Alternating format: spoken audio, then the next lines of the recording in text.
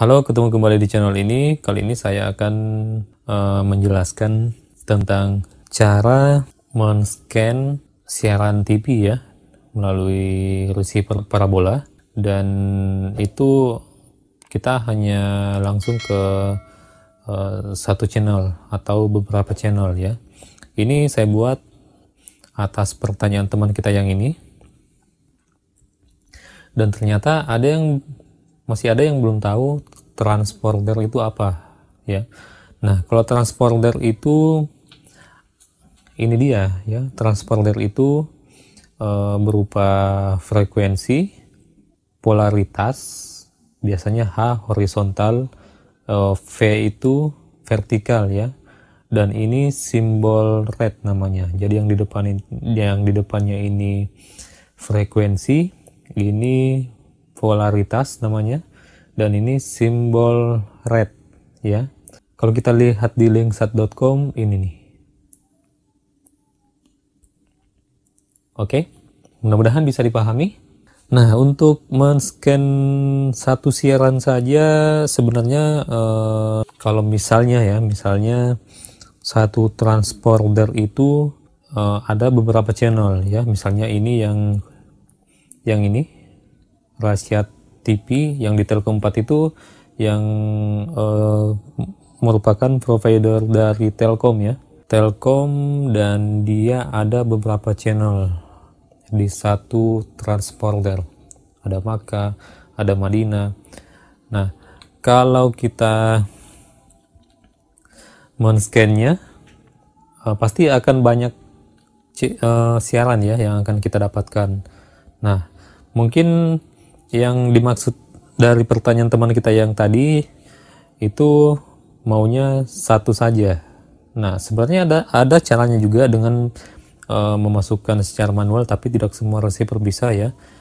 Oke, gimana caranya uh, untuk men-scan-nya dan hanya satu siaran saja yang kita dapat?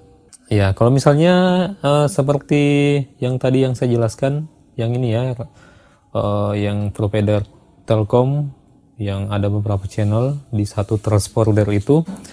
Uh, sebenarnya kalau simpelnya sih sebenarnya mending kita scan saja uh, dengan transporternya itu. Nanti kalau misalnya ingin satu satu siaran saja ya yang siaran yang lainnya dihapus saja. Kan um, cara menghapusnya gampang saja ya. Ini misalnya ini. Uh, kita tekan tombol biru di remote kita sesuaikan dengan petunjuk yang ada ubah lalu hapus. Biru lagi ya. Hapus satu persatu atau hapus dengan uh, eh, TP-nya atau ya pokoknya tinggal pilih ya. Satu persatu misalnya ini ini dan ini ya. Kita tinggal ini lalu tekan menu. Menu lagi simpan ya itu sudah terhapus. Ya Nah, tapi ada juga transporter misalnya yang ini, dia hanya satu transporter itu hanya satu siaran, ya. Jadi saya di sini akan memperlihatkan cara scannya saja ya bagi pemula ini bagi pemula ya. E, cara men-scan satu siaran atau satu transporter lah ya. E, misalnya ya, saya bi saya buat baru dulu. Saya masuk di menu, lalu daftar satelit, uh, menambahkan saya coba buat satu satelit lagi sembarang saja namanya tes ya. Tes ini untuk tes saja. Oke menyimpan. Dan oh ya tata cara atau cara untuk men menambahkan satelit uh, saya ada videonya ya. Silakan cek di deskripsi oke? okay? Nah setelah ini sudah sudah masuk ya, kita setting uh, ininya pastinya setting untuk bagian satelitnya. Di segnya saya di, di seg 2 ini diaktifkan. Ini uh, untuk Telkom. Oh ya, kita coba Telkom ya. Telkom kalau di saya dua-duakannya tuh off. LMB frekuensi 5150. Oke. Okay Pokoknya untuk lebih jelasnya uh, tentang ini Anda bisa nonton videonya tentang cara menambahkan satelit, silakan cek videonya di deskripsi. Oke. Tekan simpan, lalu ke TP atau transporter ya. Tekan gutu di remote.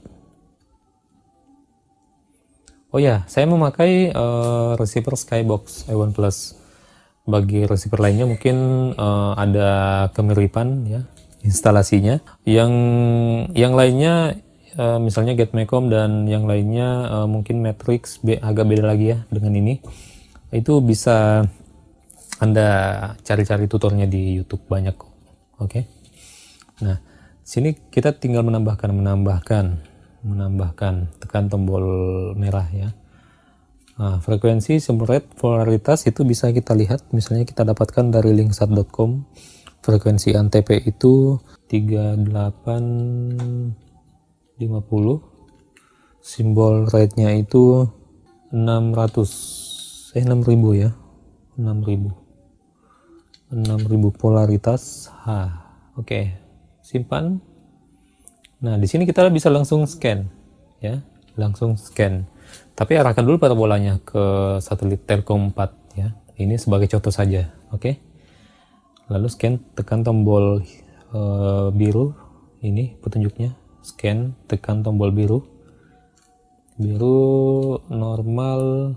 Oh ya, di sini kita bisa ya. Kita bisa langsung masukkan uh, video pitnya, audio pitnya, VCR pitnya yang seperti yang saya tadi katakan di linkset.com ada juga ya kayak ini nih oke okay?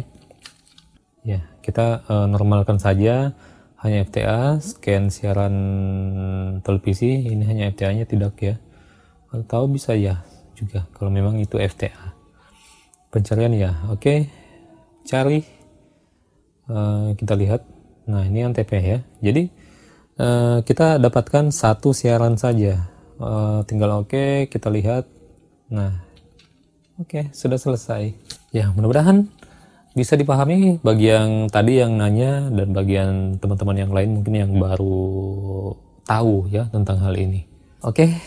jangan lupa subscribe aktifkan notifikasi loncengnya silahkan like dan share maaf bila ada kesalahan kata atau kesalahan cara penjelasan Oke, karena saya hanya manusia biasa, kita ketemu di video yang lainnya.